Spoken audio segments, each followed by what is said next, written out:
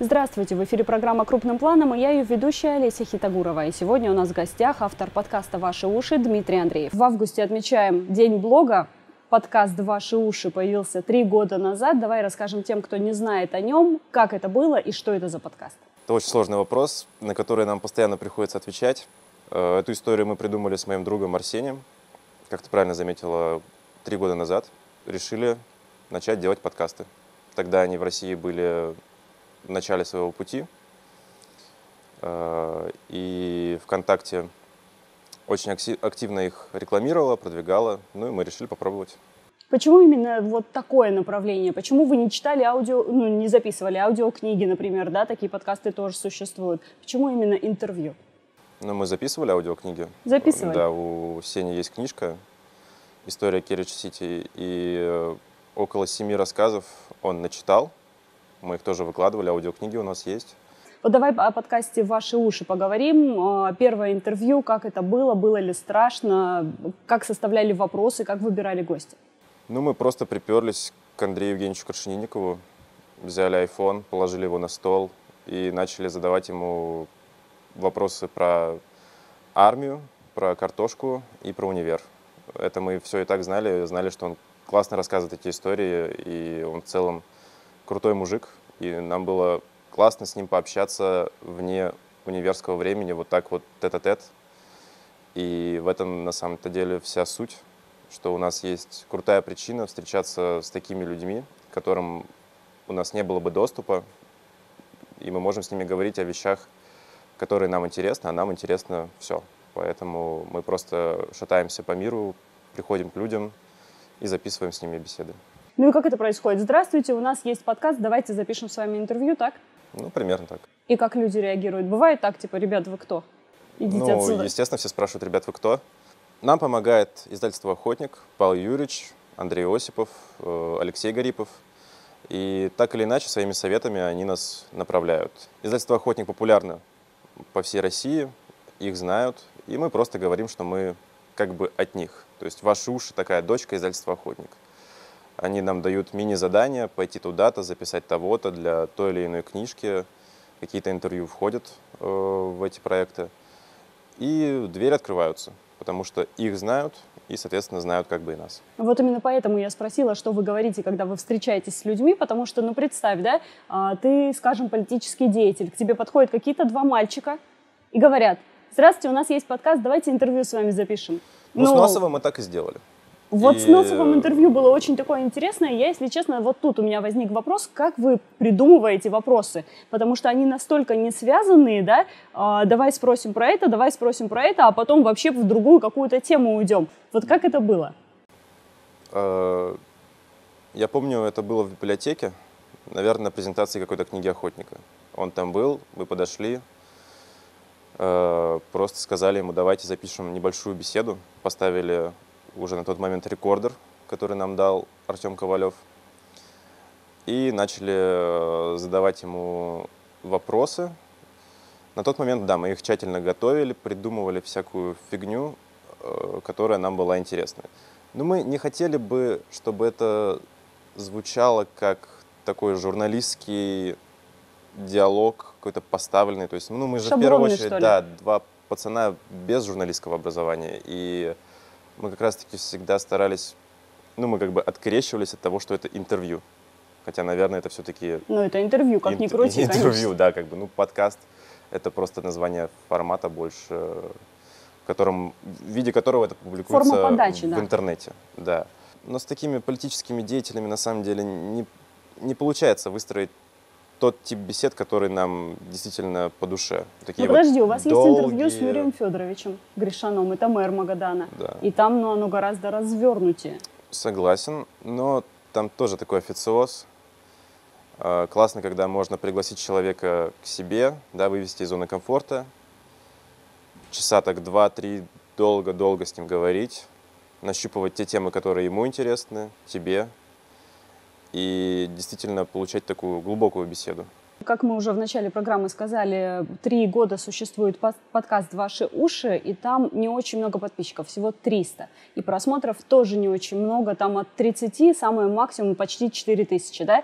И вот не, не, не возникает чувство обиды какой-то, почему вот мы делаем, делаем, и никто не слушает? Или вы делаете это для себя исключительно? Ну, люди слушают, платформ у нас много, есть ВК, Где? Яндекс Музыка, Apple подкасты, Spotify. А, комментарии приходят нам, как правило, лично при встрече. А, ну, качество первых выпусков, конечно, оставляет желать лучшего. Там и звук не очень, и видео не было. Но сейчас мы все это подтянули, все гайки подзакрутили, и народ как-то стал поактивнее э, воспринимать. А, ну, вы ты права, мы это делаем... Начинали делать мы это действительно для себя, потому что, ну, повторюсь, нам это было интересно. Э, нам не была интересна как бы реакция окружающих, как нас кто-то будет слушать, не слушать. Мы как бы побеседовали, это важно. А то, что мы выложили разговор, это вот уже вам, слушатели. Если вы хотите, зацените. Потому что каждый для себя может там что-то найти. А для нас это в первую очередь опыт, и он нам помогает идти дальше, общаясь э, с новыми людьми, ты всегда получаешь какое-то вдохновение, узнаешь что-то новое, потому что ты можешь быть экспертом в чем-то одном, да, в двух вещах в жизни максимум, а там люди самых разных профессий, писатели, художники, геологи. Некоторые из тех людей, которых, которых мы уже записали, с нами больше нет, и это их последнее интервью и возможность послушать, послушать их, услышать их голос, их мысли. Ну, мне кажется, это круто. Ты говоришь о том, что в начале вашего творческого пути было действительно сложно и качество было ниже. Как развивались? Вот вы прорабатывали, например, э, берете какое-то интервью, да, прослушали его при монтаже, например, том же, вы думаете, нет, вот здесь надо было сделать как-то иначе, задать какой-то другой вопрос. Как вы росли? Ну, мы просто делали. Делали, делали, подавались на всякие программы, школы, где-то нам помогали, объясняли. А, вот. Последний раз мы работали с Алиной Белят. Это подкастер да, из Москвы, студии «Либо-либо». Она нам прям по полочкам раскладывала, что мы не так делаем. Мы потом записали ее, она нам сказала, ну, нормально. Вот.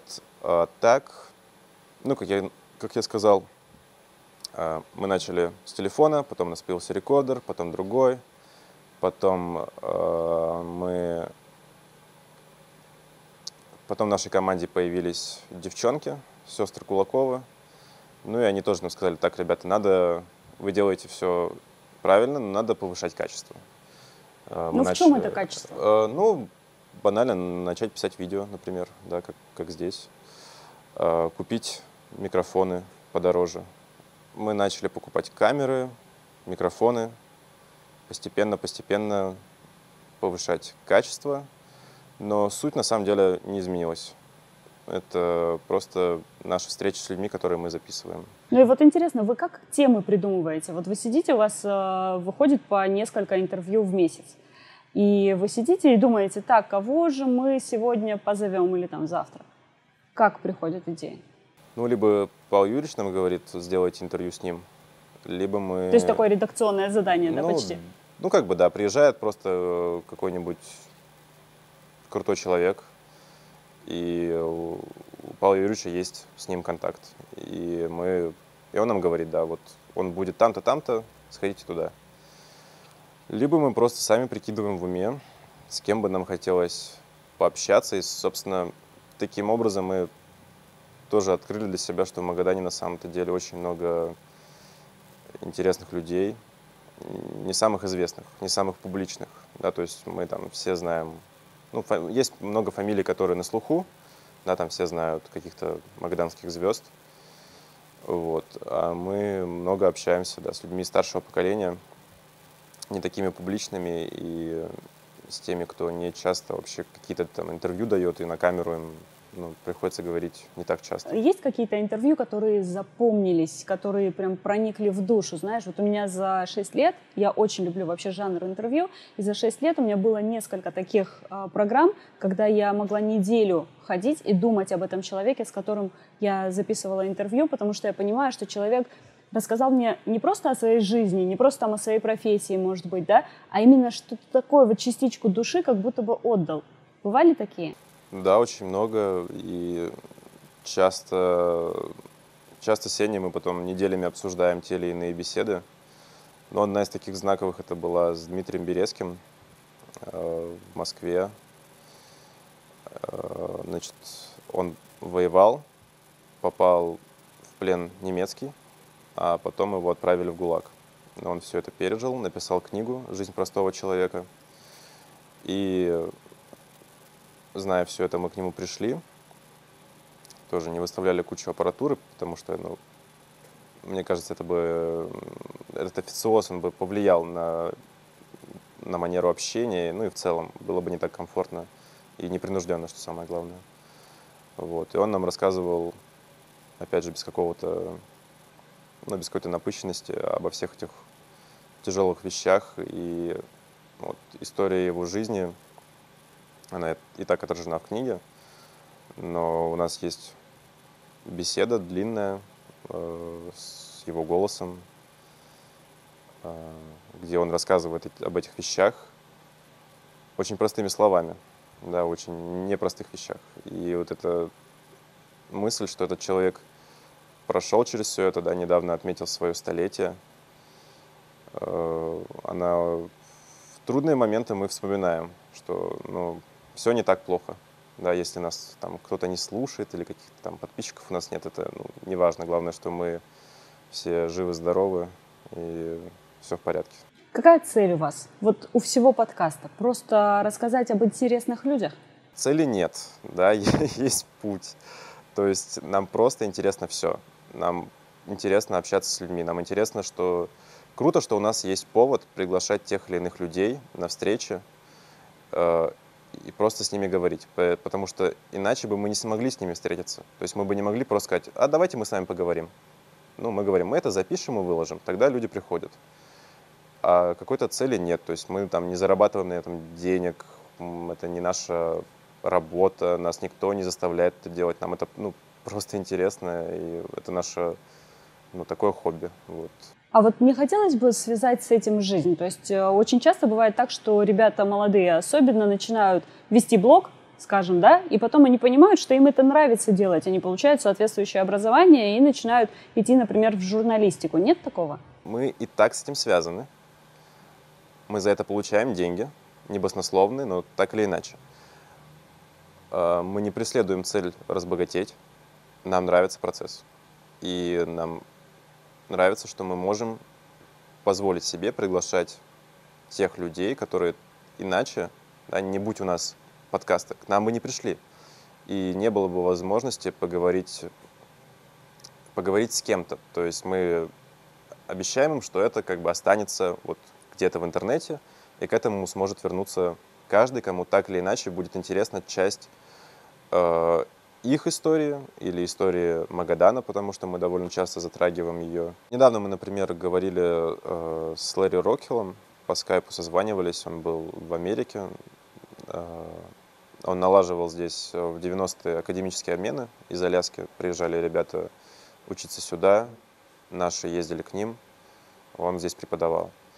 Вот. Это такая, ну, важная веха, мне кажется, в истории Магадана, да и, ну, целом в те времена, э, когда еще железный занавес был, провернуть что-то такое, ну, это круто. И, да и сейчас это представить сложно, э, если мы говорим да, об Америке. Вот. И эта история есть. Ну, в принципе, он книгу про это написал. Вот. Но для ленивых, кто книгу не осилит, есть подкаст. То есть это тоже плюс. Это здорово, что вам то, что вы делаете, приносит удовольствие. Пусть так будет всегда. Спасибо за интервью.